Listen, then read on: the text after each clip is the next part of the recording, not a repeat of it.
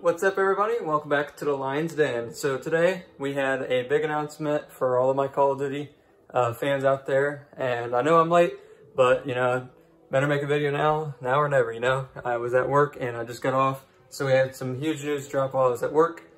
And um, the news is tomorrow we are getting some more season one content. So Vacant, the um, 6v6 multiplayer map is dropping tomorrow.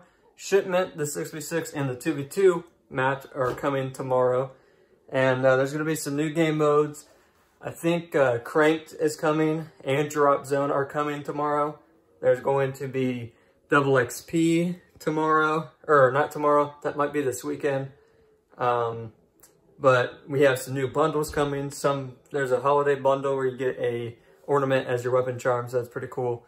And uh, Nikto, the operator that we've all been waiting for, is dropping tomorrow. So I will be buying him and uh, I'll be making a video on it for you guys. So stay tuned to the channel for tomorrow, guys. We're going to be making videos.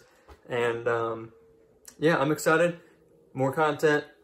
Also, for logging in tomorrow at 10 a.m. Pacific time, 1 p.m. Eastern time, uh, we get a free gift. Uh, nobody knows what this gift is, and um, for just logging in, they're giving you something for free. So I think that's cool, and uh, I'm going to show you the footage of all the uh, stuff that's coming. So here we go. So as you guys can see, I'm just scrolling through here to show you the uh, official Activision blog over here that uh, states everything that I just told you guys. Uh, the official, you know, Gunfight OSP and everything is getting replaced with Cranked and Drop Zone.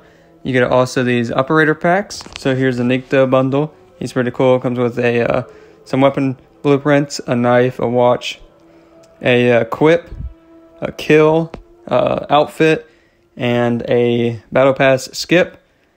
So that's going to be nice.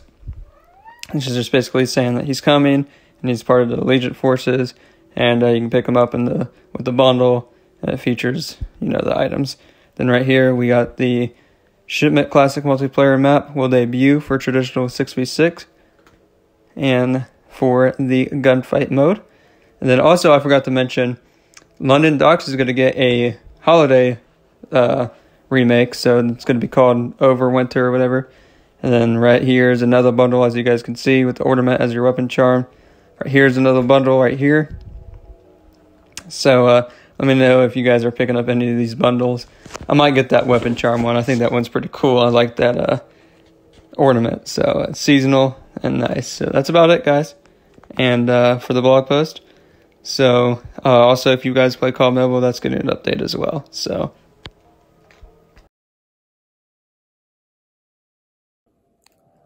Alrighty, so as you guys seen there, we have loads of stuff coming tomorrow, guys. So just stay tuned to the channel. We'll be dropping videos on everything that comes out.